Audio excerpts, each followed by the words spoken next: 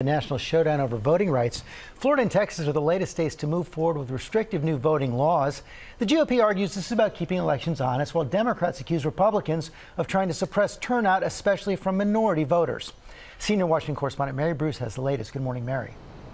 Good morning, George. Well, across the country, we are seeing these Republican controlled states following former President Trump's lead, moving to tighten election security laws. They say it's all intended to boost election security, but Democrats say it's all an attempt to fix a problem that simply doesn't exist because there was no evidence of widespread voter fraud in the last election, despite former President Trump's claims. Advocates say it all amounts to, to voter suppression, targeting communities of color and the disabled. Now, overnight in Texas, just a short while ago, they moved to advance measures that could make it the toughest state in the country to cast a ballot in.